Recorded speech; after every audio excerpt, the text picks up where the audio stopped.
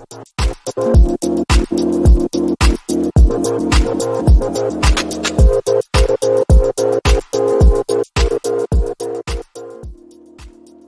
во-первых, я хотел бы поздравить наших соперников сегодняшних. Вот. Э, ну, комментировать что-либо, когда проигрываешь 0-3, очень сложно. Поэтому, ну, мы испытываем некоторые трудности в составе. У нас э, отсутствует основной связующий игрок, диагональный игрок не в лучших сейчас кондициях.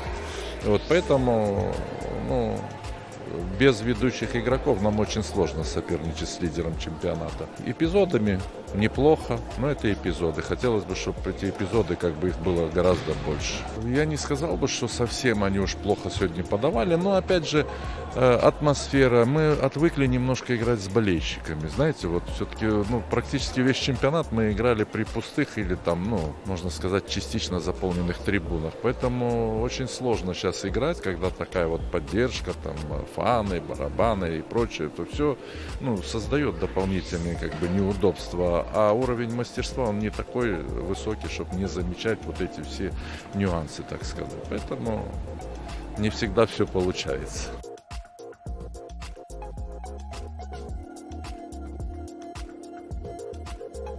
Сказать, что команда оказала давление на нас.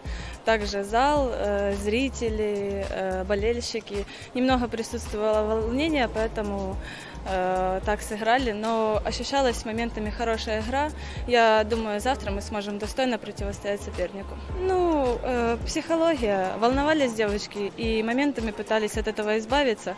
Моментами пытались рисковать, стараться доставать все мячи. И более-менее где-то это проявлялось, показывалась хорошая игра. Э, В основном из-за того, что мы сейчас привыкли, я думаю, завтра уже будет поспокойнее играть, э, постабильнее будет идти игра. Надеемся на это. Thank you.